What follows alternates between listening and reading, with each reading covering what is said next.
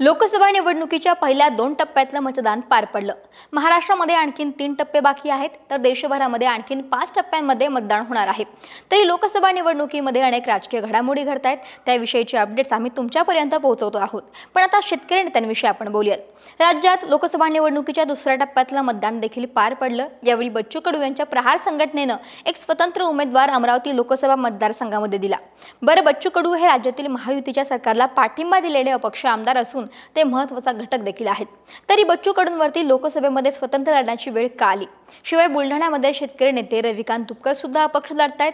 त्यामुळे शेतकरी नेत्यांना डच्चू दिल्यानं त्यांच्यावर स्वतंत्रपणे संघर्ष करण्याची वेळ का आली?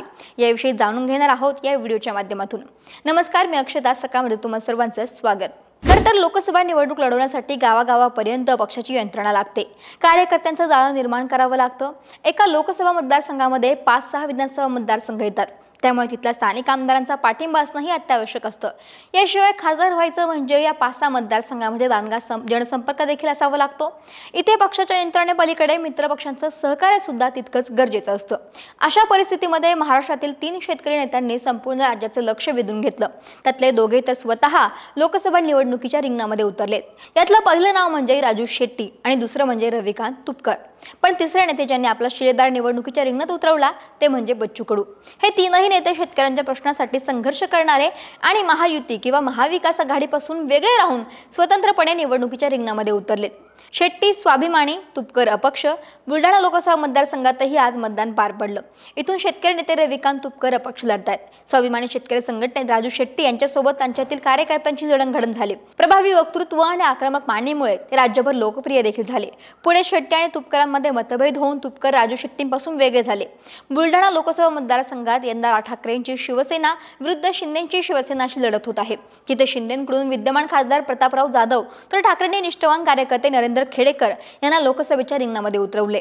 या दोघांनाही महायुती आणि महाविकास आघाडीतील तीन तीन पक्ष तसेच त्यांच्या राज्य राष्ट्रीय पातळीवरील नेत्यांच्या प्रचारसभांची मदत झाली. या उलट रविकांत तुपकर कोणत्याही पक्ष आणि नेत्यांच्या मदतीशिवाय एकटे शिलेदारप्रमाणे लढले आणि मतदारसंघात उत्तम वातावरण निर्मिती केली. केवळ शेतकऱ्यांच्या प्रश्नासाठी केलेले लढे एवढ्याच भांडवलावर सामान्य शेतकरी कुटुंबातील हा तरुण शेतकरी नेता मैदानात उतरला. दोन हजार एकवीसमध्ये तुपकरांनी सोयाबीन कापूस दरवाढीसाठी केलेले अन्नत्याग आंदोलन राज्यभर गाजलं. कृषी कायद्याविरोधात रेल्वे रोको असेल कर्जमाफीसाठी पुणे मुंबई आत्मक्लेश पदयात्रा असेल तसेच अलीकडे मंत्रालय ताब्यात घेण्यासाठीचे आंदोलन अशी अनेक आंदोलनं त्यांच्या नावावरती आहेत.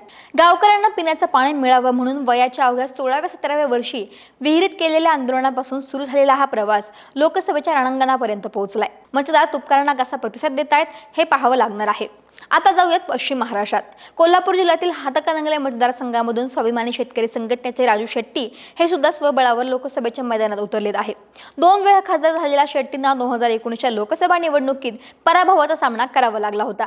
दोन हजार चौदामध्ये भारतीय जनता पक्षासोबत राहून त्यांनी निवडणूक लढवली परंतु भाजपच्या शेतकरी विरोधी धोरणाचा निषेध करून एनडीएमधून बाहेर पडणारे ते पहिले खासदार होते. भाजपसोबत गेल्यानंतर त्यांनी आत्मक्लेश आंदोलनही केलं. एक दोन हजार एकोणीसच्या विधानसभा निवडणुकीत ते महाविकास आघाडीसोबत होते. परंतु शेतकरी प्रश्नांसंबंधात आघाडीकडून सकारात्मक प्रतिसाद न मिळाल्यानं त्यांनी आघाडी ही साथ सोडली. पण आता दोन हजार चोवीसच्या लोकसभा निवडणुकीत महाविकास आघाडी त्यांच्यासाठी जागा सोडणार होती. पण हातकणंगलेची जागा शिवसेनेकडे असल्याने शेट्टींनी मशाल चिन्हावर लढवावी असा आग्रह उद्धव ठाकरे यांनी धरला. पण तो मान्य करत शेट्टींनी वेगळी वाट निवडताना स्वबळावर लढण्याचा निर्णय घेतला. शेतकऱ्यांसाठी मागील वीस वर्षांहून अधिक काळ केलेल्या संघर्षाची शिदोरी घेऊन शेट्टी मैदानामध्ये उतरले. त्यांच्या शेतकऱ्यांचा मोठा प्रतिसाद देखील मिळतोय. दोन हजार एकोणीसच्या लोकसभा निवडणुकीत वंचित बहुजन आघाडीच्या उमेदवारामुळे त्यांना पराभव पत्करावा लागला होता. आता तर महायुती महाविकास आघाडी आणि वंचितची ताकद त्यांच्या विरोधामध्ये मैदानामध्ये आहे. त्यामुळे यंदा एकला चौरळीचा नारा शेट्टींना जड जाणार का हे पाहावं लागेल. इकडे राणांविरुद्ध बच्चू कडूंचा प्रहार. अमरावती लोकसभा मतदारसंघात महायुतीनं बडनेराचे अपक्ष आमदार रवी राणा यांच्या पत्नी आणि विद्यमान खासदार नवनीत राणांना भाजपकडून मैदानामध्ये उतरवलं. या जिल्ह्यात राणा दाम्पत्याचं राजकारण युवा स्वाभिमानी पक्ष या नावाने स्वतंत्रपणे केलं जातं. पण यंदा निवडणुकीच्या तोंडावरती नवनीत राणांनी भाजपमध्ये प्रवेश केला तरी राणांच्या उमेदवारीला या जिल्ह्यातील प्रहार पक्षाचे आमदार बच्चू कडू यांनी विरोध केला. आणि त्यांनी त्यांच्या पक्षातर्फे दिनेश बुब यांना नवनीत राणांच्या विरोधामध्ये उभं केलं. त्यामुळे आता महायुती महाविकास आघाडीच्या ताकदीपुढे बच्चू कडूंचा काय समीकरण साधतो हे पाहावं लागेल.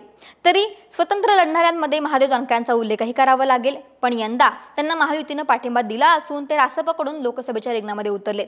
त्यांच्यासाठी खुद्द मोदींनीही सभा घेतली होती. तेव्हा त्या जानकरांचं परभणीत काय होतं? शेट्टी तुपकर कडू हे कांडे शिलेदार आता लोकसभा निवडणुकीमध्ये कसं यश मिळवतात याकडे संपूर्ण राज्याचं लक्ष लागलेलं आहे.